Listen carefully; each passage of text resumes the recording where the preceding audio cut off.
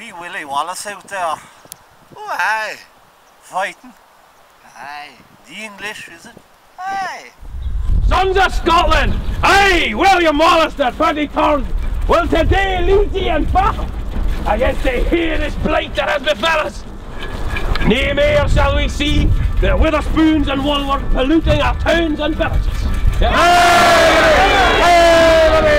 We will fight them in the hedges. We will fight them in the ditches. We'll run them through the heatherland. Fire! Make your cold! Ah, for King Robert's sake, away with you, laddie. There's a war on here today, don't you know? Now, where was I? You were over there, weren't you? I think. I, I never mind, never mind. Holy moly, Foley! What did you have this morning for your breakfast? Ah, sorry, well, it must have been the curried haggis I had for my breakfast. Man, man, back up the hill before it all gas! Charge! What the blazes happened there? Who gave the order to charge? I hadn't finished the talking bit yet. Sorry, Willie. You said when you stuck up your sword that we were to attack.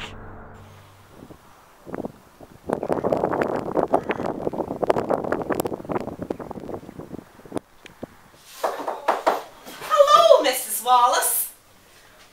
Thanks for inviting us round for the tea while the boys are away fighting. Ah, you're welcome, Mrs. McTavish. I do hope my wee Willie comes home in one piece. Ah, I do miss me wee Willie when he's near about. Hello, lassies. Hello. Mrs. McTavish. See my Hamish. He shouldn't be hungry because he ate all the haggis curry for his breakfast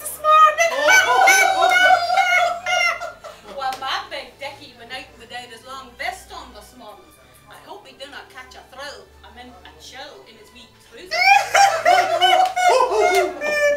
Well, my wee Duke was up all night mending a friggin' buncher. Now, man, I do have to tell you how important it is that we all move together as a unit. What are you yelling, Willie? You hit my tires are bridging hard, the wind's gone all out in my wheel. For the love and honour of Mary Flood, we'll never get no fighting done today if this carries on. Your Majesty, should one exhibit one's archer's abilities? Oh, certainly, my good fellow. Teach us and really rabble the art of dodging. Certainly, Your Majesty. Archers! Oh, look, you're...